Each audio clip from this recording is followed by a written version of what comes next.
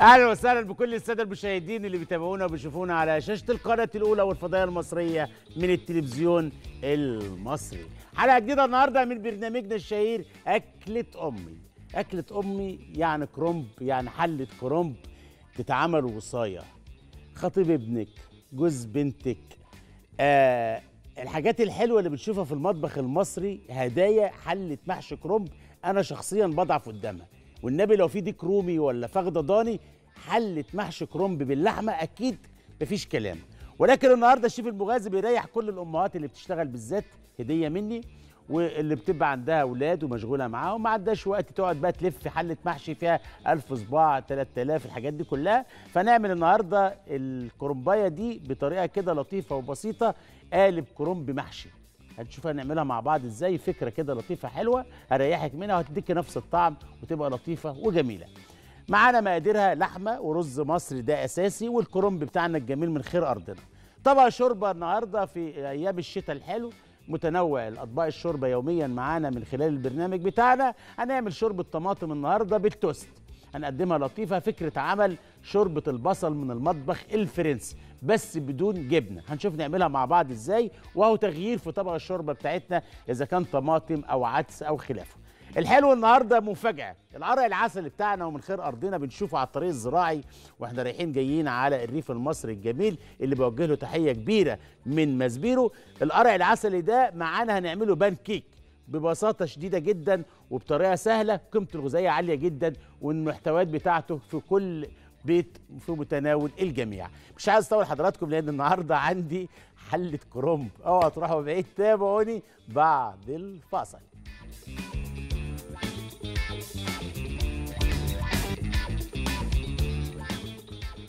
ورجعنا لحضراتكم بعد الفاصل. محلك سرك يا أبو الشيف قاعد بغازل كرنبايه حلوة من خير أرضنا. عايزين نتكلم عن الكرنب المصري بالذات من نعم ربنا علينا. الكرنب الضرنيات الجميلة كرنب بروكلي ارنبيط دي حاجة لطيفة اللي هي قريبة من الأرض. وطالما هي قريبة من الأرض واخدة حنية الأرض المصرية. الكرنب الحلو بتاعنا ده إزاي أعلمك تشتريها الأول؟ علشان لما نروح البيت نلاقي ورق نلفه. تشتري الكرنباية التقيلة ما تشتريش الكرنباية الخفيفة. الخفيفة مش هتلاقي فيها ورق كتير هتلاقيها مسقفة على الفاضي. دي رقم واحد.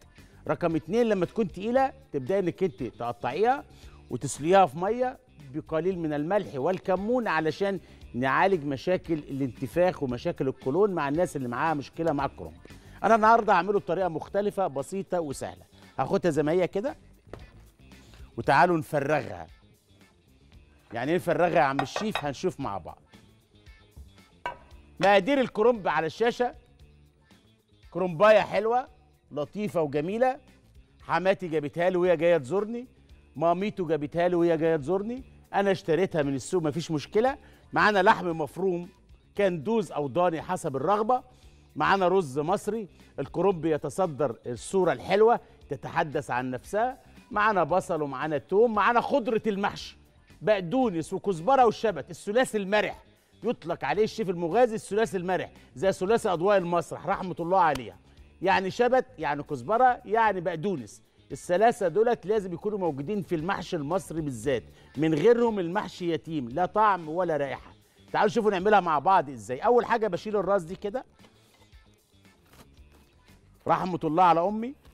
كانت دايما الراس دي تقشرها لي. والله العظيم أرجع من المدرسة ألاقيها شايلها لي. اللي هي دي كده. مخرجنا الجميل بالله عليك.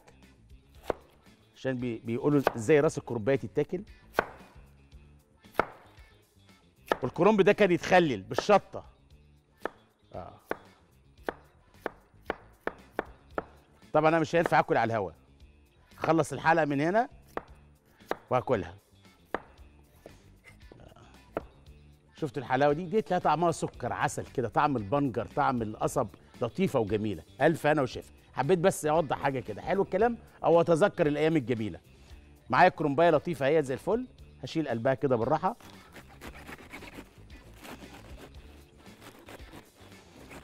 مفيش حاجة هتترمي منها على فكرة.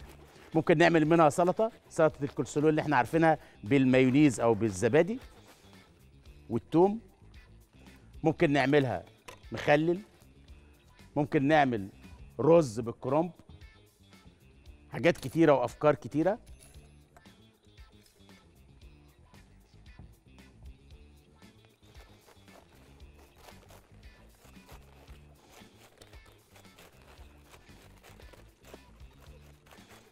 اشيل ده كده بالراحة.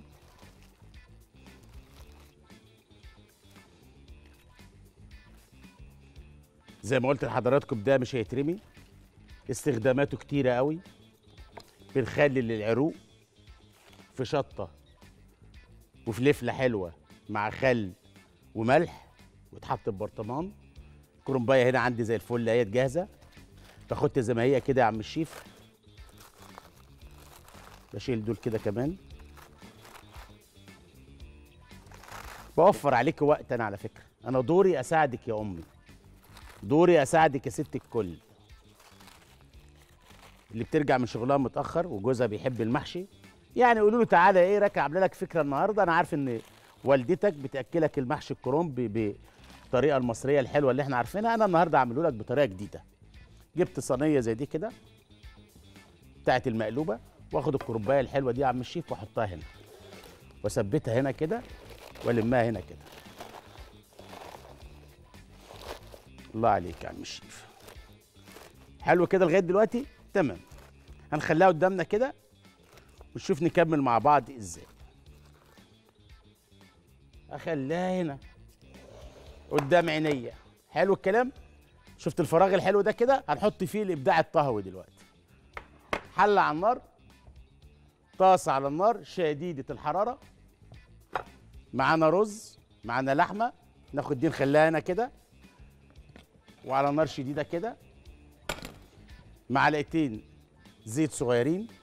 ممكن يكون زيت زيتون. بنحط معلقة سمنة حلوة. أنا بحب السمنة في المحشي. حلو. نحط بصلة ناعمة. العادي بتاعك بقى بتعملي خلطة المحشي بس دي مستوية شوية. دي بصلاية. فص توم طبعا كل الموظفات واللي بيشتغلوا هيدعوا لي دلوقتي. آه شفت إزاي؟ البيت بقى فيه كرومب ها؟ يعني في إيه؟ ريحة الكرومب. وعلى فكرة الكرومب من الحاجات الحلوة اللي بيعالج مشاكل الكبد ويخلص الكبد من الدهون الزائدة. قيمته الغذائية عالية جدا. مشاكل الإمساك الكرنب له فوائد كتيرة بصلاية على النار بدلعها بمعلقة سمنة معلقة زبدة مادة دهنية حلوة كده مع تومة حلوة.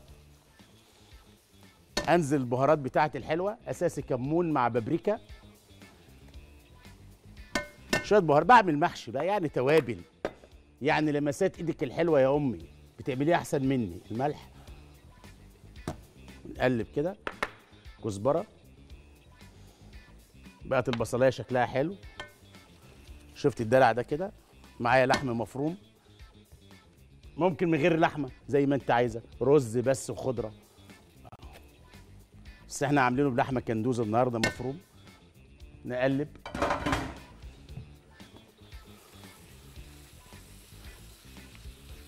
البصلة خدت لون مع اللحمة. بستنى على اللحمة كده لما تتفلفل. حلو. ما ينفعش أحطها نية. هقول لك ليه دلوقتي وأنا شغال مع الكرنب. وأقلب البصلاية كده.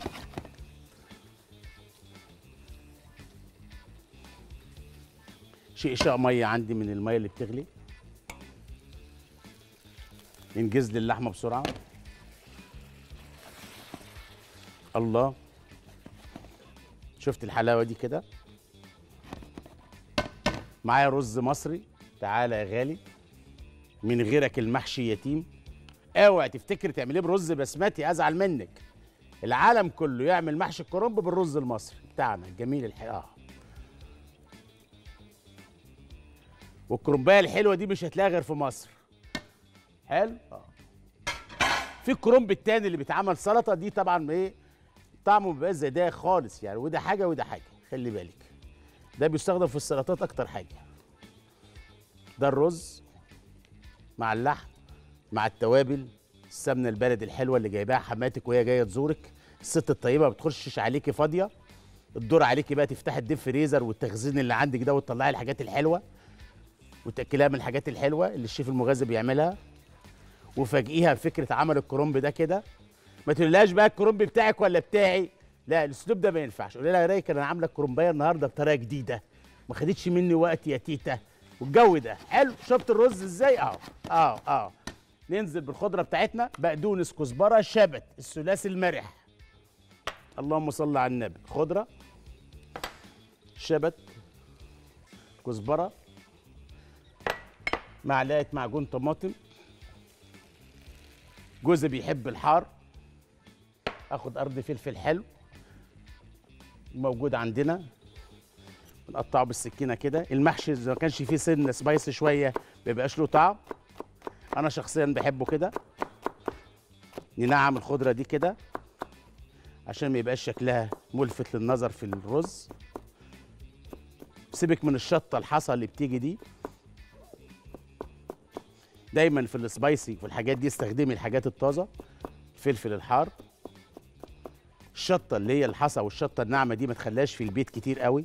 مشاكلها الصحية شوية أكتر من الفلفل الطازة ده اللي ما عنده مشكلة مع السبايسي. خلي بالك. آه ما نعرفش بقى مكوناتها إيه فيها إيه. هو ده. الله. زي الفل. نقلب. بسم الله الرحمن الرحيم. إيه الحلاوة دي يا عم؟ إيه الجمال ده؟ إيه الجمال ده؟ إيه الحلاوة دي؟ آه. ده أنا اسويه بالميه واكله كده بس خلاص. ممكن بقى أقول لك على محطة كده بسموها محطة إبداعية مغازية. يعني إيه يا عم الشيف؟ فكرة تانية بتجاخد الكرنب تقطعيه كأنك بتعمليه سلطة وتحطيه على الرز باللحم ده كده وتطبخها طبخة. اسمه رز بالكرنب واللحم.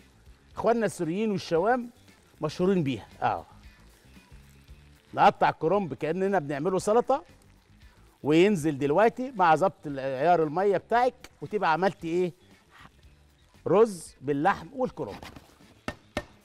نحط المية بتاعتنا. اللهم صل على النبي. هو ده. يلا بينا. ونسيبهم على النار يستووا.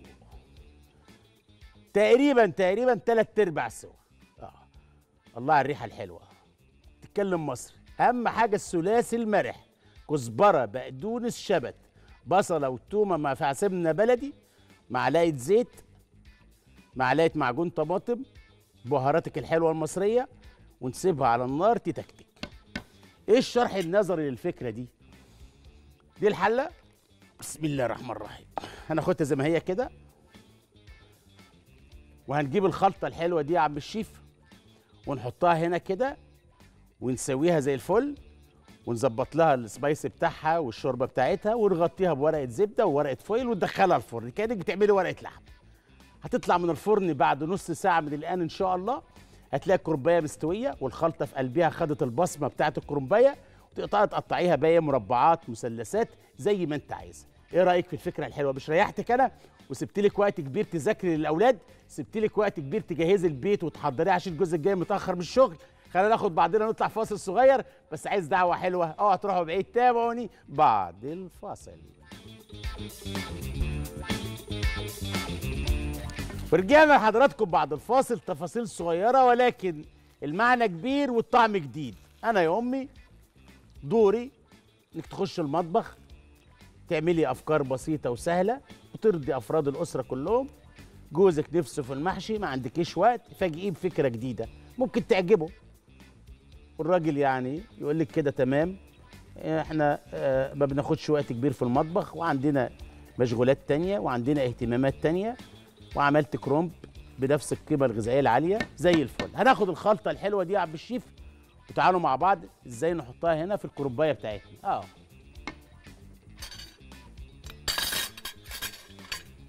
اللهم صل على النبي. الله.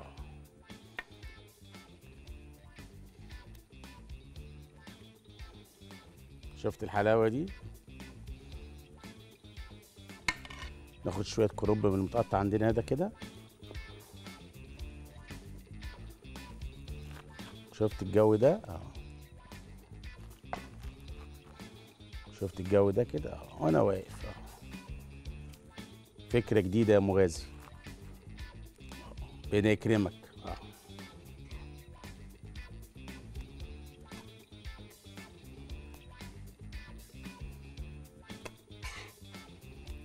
تاني. ورق الكروب اللي إحنا شلناه. عشان يمتص السوائل بتاعه اللحم والرز. وأنا شغال كده. شفت الجو ده كده؟ واضغط عليها كده. بالراحة يعني. وننزل بدول كده. كده كده انت لو جبت كرومباية ممكن ما بتكفيش حلة محشي. عشان تعمل لي حلة محشي حلوة لازم تجيب كرومبايتين ثلاثة حلو؟ عشان تكفي الحبايب. عملت الفكرة الحلوة دي ونجحت معاكي. مفيش مشكلة لما تاخدي طبق حلو تخبطي على الجيران والحبايب والنبي وصى على سبع جار. يا أم سعاد يا أم محمد يا أختي يا ست الكل. أنا شفت الشيف المغازي على القناة الأولى النهارده جاب كرومباية. يا أختي بنقعد ساعتين ثلاثة نقعد نلف في المحشي. عملها في خمس دقايق. شفت الجو ده كده؟ آه. تمام زي الفل. هجيب طاسة كده أحطها على النار. بحط فيها معلقة زيت صغيرة. فص توم حلو. وأعمل شوية شوربة حلوين كده من إيديا. معلقة سمنة حلوة. وأغطيها بورقة زبدة بعد كده. حلو. معانا ورق زبدة ومعانا ورق foil نصيحة مني لما تعملي ورقة لحمة تعملي صواني بتغطيها لازم طبعا يسبق الورق ال foil ورق الزبدة.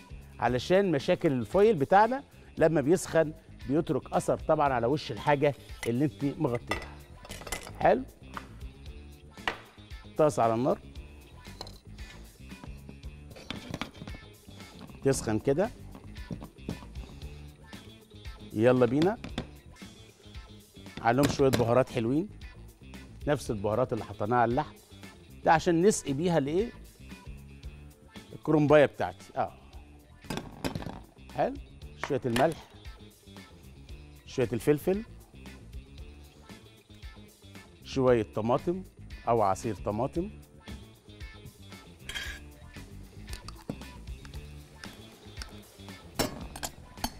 حلو.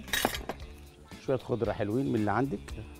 عشان نمشي على نفس المدرسة ونفس الطعم. ونقلب الخلطة الحلوة دي كده. الله. كنت فين من زمان يا شيف؟ خديت شوية أهي. بس طبعا أنا عشان على الهوا وعشان مع حضراتكم كده شغال واحدة واحدة لو أنت دخلت المطبخ وحافظة الطريقة دي مش تاخد منك ثلاث دقايق. بس خلاص. ناخد الخلطة الحلوة دي يا عم الشيف. ونشرب بيها الكرنب بتاعنا. آه. شوربة. والله عندك شوربة لحمة مش هتقول لأ. آه. زي ما هي كده. شوف أنا هعمل إيه دلوقتي. آه.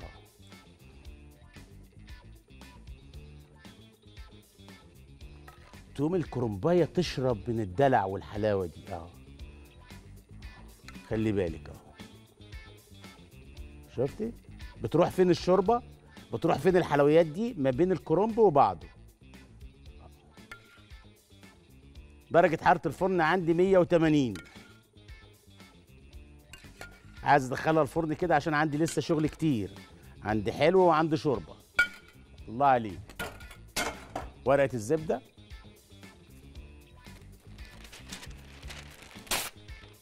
حلو. عليها ورقة الفويل.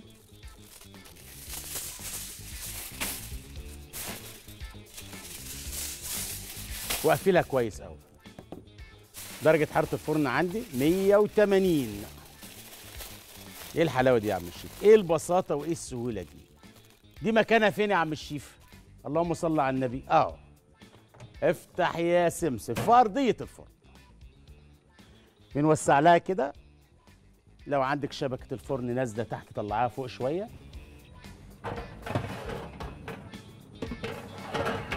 وندخل الصينية الحلوة دي كده. اللهم صل على النبي. يلا بينا؟ يلا بينا. آه. بص لي عليها كده. آه شكلها يخوف في الفرن ها بس فيها فكر طهوي فيها بساطة فيها سهولة فيها توفيرا للوقت بتاعك. تعالوا مع بعض نعمل إزاي شرب الطماطم بالتوست بطريقة بسيطة وسهلة. بس اللي قاعد بيشاهدنا دلوقتي بيشوف الكرنب اللي باقي عندي ده مصيره إيه. طبعا راس الكرنباية اتفقنا مع بعض. هنخلص الحلقة وأحل بيها.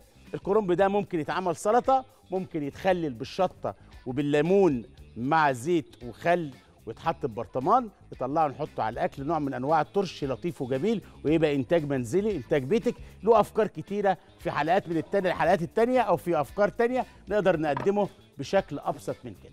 أنا مش عايز أطول حضراتكم. هناخد بعدينا ونطلع فاصل صغير ونرجع بعد الفاصل. هنعمل شوربة في ثلاث دقايق أسهل من عمايل الشاي. معانا حلو النهارده اللي هو بيسموه البان كيك بالقرع العسلي بتاعنا المصري اللطيف الجميل. اوعى تروحوا بعيد تابعوني بعد الفاصل.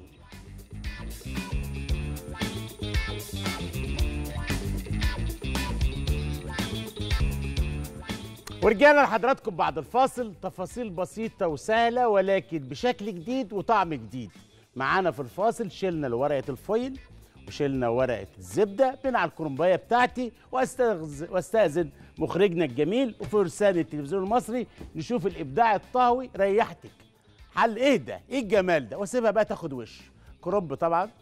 طبعا علشان يبقى فيه مصداقية الكرنبايه طبعا مش هتبقى مستوية بنفس فكرة إن أنا ألفه. إحنا بناخد الورقة ونسيب العروق. هنا الكرنبايه كلها بإيه؟ ببركتها.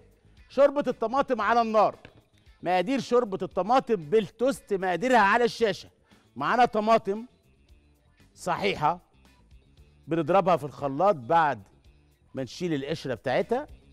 بيبقى عندنا عصير طماطم معانا بصل معانا توم معانا زبدة معانا معلقة معجون طماطم معانا شوية كرفس حلوين. والكرفس ملك الشوربة. تقدري تستخدمي معلقة نشا لقوام الشوربة. تكتفي بقوام الطماطم أهلا وسهلا. المقادير على الشاشة وأنا للأمانة ضربت الطماطم وحطيتها في الحله على النار. آه. بصلاية تومايه حابة تعمليها بالزيت أهلا وسهلا حابة تعمليها بالسمنة أهلا وسهلا. آه. وأسيبها على النار تستوي. إيه توابل شوربة الطماطم للأمانة؟ بريئه من الكمون. بريئه من الكزبرة. هم شوية زعتر مع شوية ملح مع شوية فلفل. أو ريحان أخضر. آه. حلو. بابريكا. زي الفل. أما طبعا شوربة العدس أساسي فيها الكمون. في أنواع من الشرب مش لازم فيها كمون وكزبرة زي شوربة البطاطس مثلا. توابلها ريحان أخضر أو زعتر مع كريمة لباني مع ملح وفلفل. أكتر من كده مفيش. شوربة الطماطم تحب البابريكا تحب الفلفل الأسود. آه. حابة تحطي فيها جنزبيل؟ أهلا وسهلا. ونقلبها على النار كده ونسيبها تستوي. حلو قوي تعالوا مع بعض نعمل الحلو بتاعنا البان كيك بالقرع العسلي. مقاديره على الشاشة. معانا واحد كوب من الدقيق. معانا دقيق ومعانا قرع عسلي ومعانا بيض ومعانا فانيليا ومعانا baking powder في المقادير. تعالوا نشوفوا نعمله مع بعض إزاي. بطريقة سهلة وبسيطة. أساسي معايا القرع العسلي. هو البطل في الحلو بتاعنا. أما فكرة عمل البان كيك إحنا عارفينها يا شيفنا حلو قوي. هناخد البيض مع الحليب. حلو قوي. ينفع أعمل بان كيك من غير بيض يا عم الشيف؟ هيبقى ضعيف. حلو قوي. في المقادير اتنين بيضة.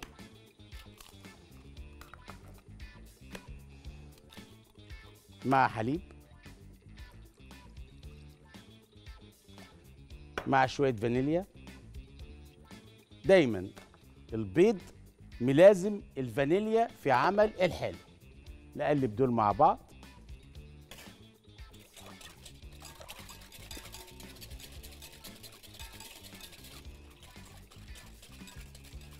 تعلمي حاجة هنا؟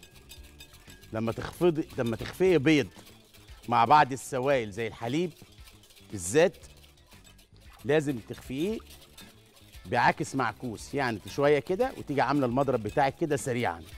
يتخفق معاك البيض مع الحليب إلا إذا تخفقي البيض لوحده. آه. شفت إزاي؟ زي ما أنا شغال كده. بيض حليب فانيليا. بيض حليب فانيليا. معانا ال baking powder على الدقيق. المواد الجافة لوحديها والمواد السائلة لوحديها. نقلب دول كده وننزل كده. وفر على نفسك وقت وتجيب الخلاط. تحط فيه الحليب والبيض. مع الدقيق وكلهم يتخفوا مع بعض. بس في الحالة دي لازم تعرفي إنك أنت عارفة المقادير ببساطة خالص اللي هو واحد كوب من الحليب معاهم اتنين بيضة معاهم أربع معالق من الزيت في قلب الخلاط وننزل بالدقيق بالتوالي معلقة ثم معلقة لغاية لما تاخد القوام اللي أنت عايزاه. شفت إزاي العجينة بتاعتي؟ سهلة خالص. معلقتين زيت مع رشة ملح. لغاية دلوقتي يا عم الشيف عرفنا إزاي بيتعمل البيكن. البان كيك آه. بان كيك بالقرع العسل. فين القرع العسل اللي مكانه هنا بقى؟ هو ده الكلام. آه.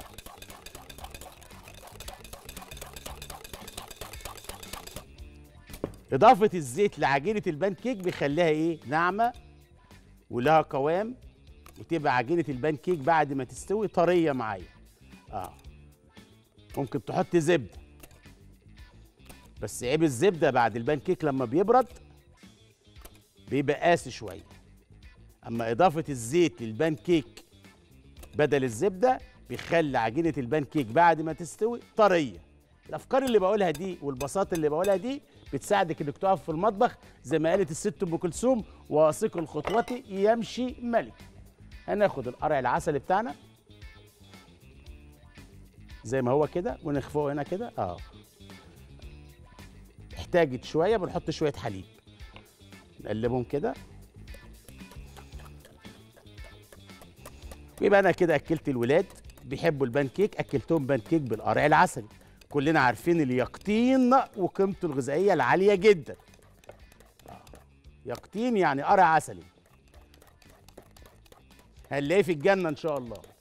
شايف الخليط ده؟ زي الفل يا عم الشيف نشيل كل حاجة من هنا. وتعالوا نجيب طاسة حلوة. ونبدأ نشتغل إيه؟ واحدة واثنين وثلاثه وأربعة. الطاسه دي على النار. نشيل الشوربة نخليها هنا. ونحط دي كده. إيه الدنيا هنا؟ شوف الشوربة وهي على النار فايرة إيه الحلاوة دي يا عم الشيف؟ إيه الجمال ده؟ لا بالله عليك تولع. حلو؟ طب نخليها هنا معاكم كده حلوة؟ زي الفل.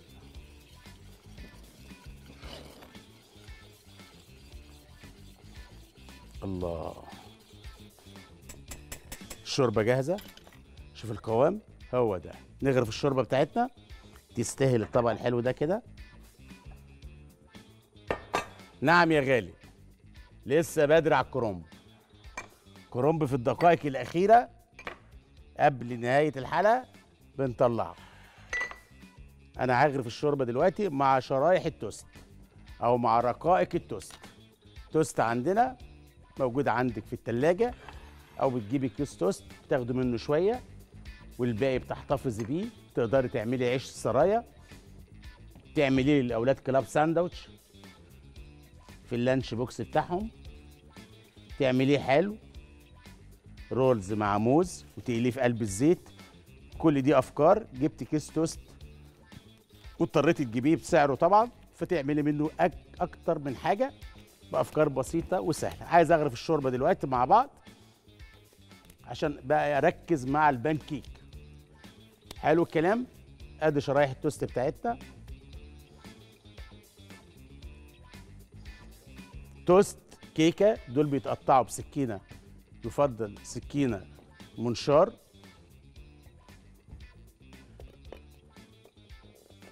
نشيل دي من هنا.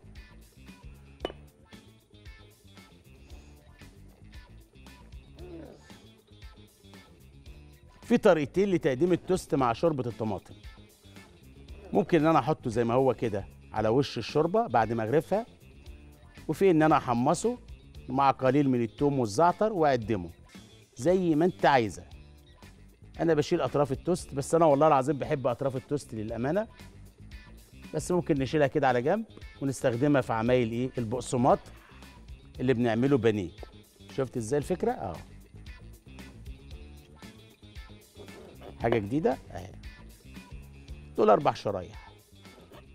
هتقولي يا شيف مغازي يعني أنا عشان أعمل شوربة طماطم للأولاد أجيب كيس توست وأستخدم منه ثلاثة وأخلص. ما أنا قلت لك يا أم تقدري تستخدمي التوست ده في حاجات كتيرة وأفكار كتيرة بسيطة وسهلة.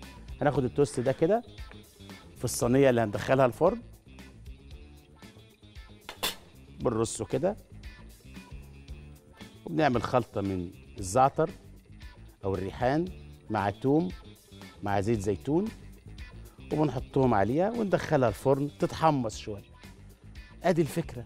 وقدمت شوربة بشكل جديد. ممكن يكون ولادك أكلوها في بعض المطاعم. إذا كانت بتقدم بالشكل ده أكلوها في مكان تاني. أنت قدمت لهم فكرة جديدة. زي ما هي كده في بولة صغيرة كده. هو ده المطبخ البساطة السهولة. شوية زيت صغيرين كده. عليهم سنة بابريكا حلوة عليهم فرشاة ونحط عليهم قليل من الخضرة شوية توم ونقلبهم كده. شوف الفكرة جاية منين؟ أهو نبدأ نعمل كده. الله بقى التستاية لها طعم تاني خالص. شيل دي من هنا حاضر عينيا. تاخدها زي ما هي كده. فكرة. للتغيير في المطبخ بتاعك لأولادك لأسرتك. ما هو ربنا سبحانه وتعالى عادل للبشر. طماطم في كل المطابخ بصل في كل المطابخ توم رز فراخ لحمة. ولكن الفكر الطهوي إحنا اللي بنطور منه. تنوعك في المطبخ إحنا اللي بنطور منه. درجة حرارة الفرن عندي 180 فرصة نشوف الكرومباية بتاعتنا أخبارها إيه. صلى على الحبيب قلبك يطيب. بص شوف الكرنب ودلع الكرنب. هنحط دي هنا كده. ونقفل الفرن بتاعنا.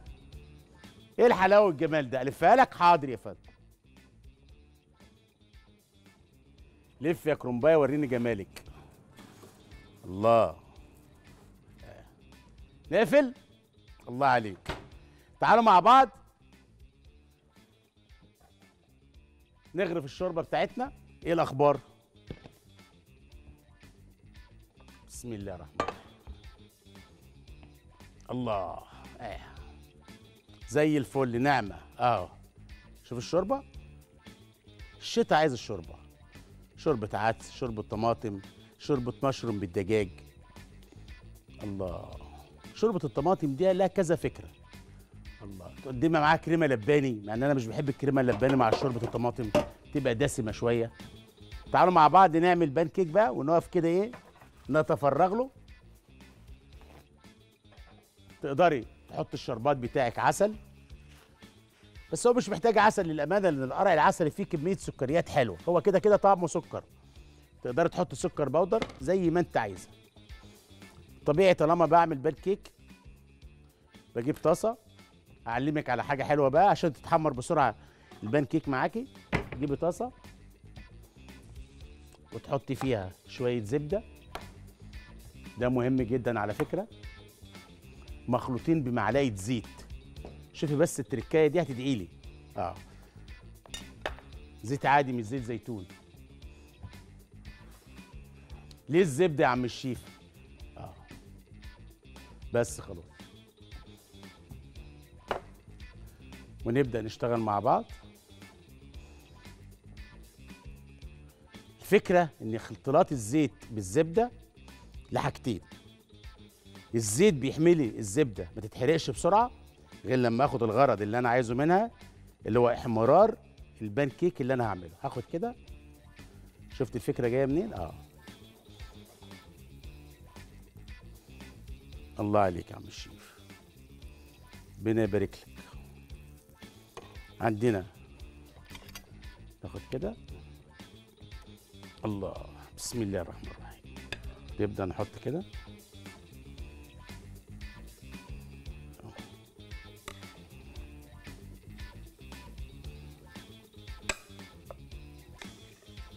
الله على الريحة الحلوة. ريحة الفانيليا بعشقها خاصة مع كيكة مع بان كيك مع شوية رز باللبن مع شوية مهلبية حكاية. خليها على النار كده ونار هادية. جدا جدا جدا. بعد تسخين الطاسة. بس فكرة الزيت مع الزبدة خلاص ساحه الزبدة بنخليها على جنب. آه.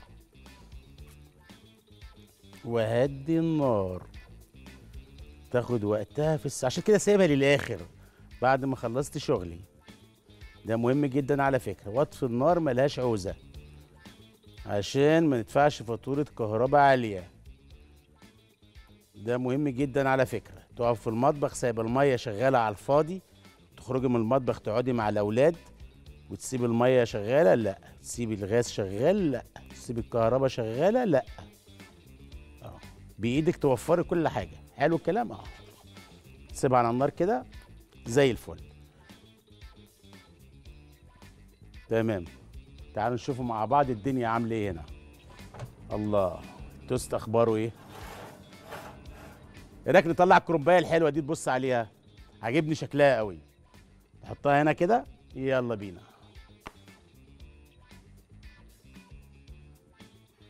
تستاهل. تستاهل نتعب عليك.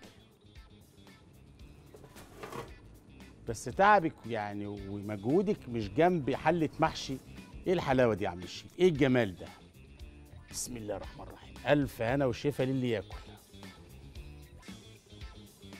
حلة محشي. بس على طريقة المغازي. ده التوست. عايز أحمصه شوية. نقفل كده. ونشوف أخبار البان كيك. إيه الحلاوة دي يا عم الشيف؟ بسم الله الرحمن الرحيم. الله. الله. تقدري تعمليها بالقرع العسلي تعمليها بالبطاطا. شايفه شايفة الصوت ده كده؟ بصوا يا شباب.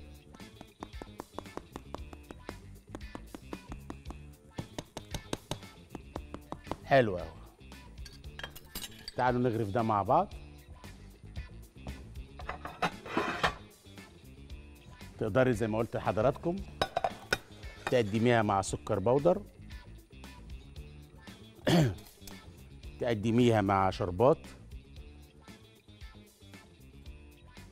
فكرة والله يا شيف مغازي ده الاولاد مش بياكلوا القرع العسلي أنت كده أكلتهم القرع العسلي بطريقة غير مباشرة.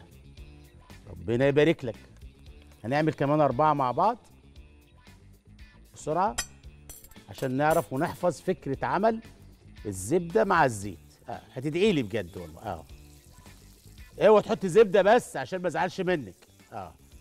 يلا نوزع المقدار كده عشان وقتنا سرقنا. إحنا عاملين محلة محشي النهارده.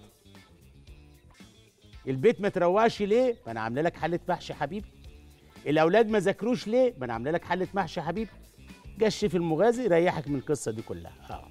تضحكي أنا عارف ها؟ بس خلاص. شيل ده من هنا. التوست نطلعه. يا رب ما يكونش اتحرق. إيه الحلاوة دي؟ ما الحلال؟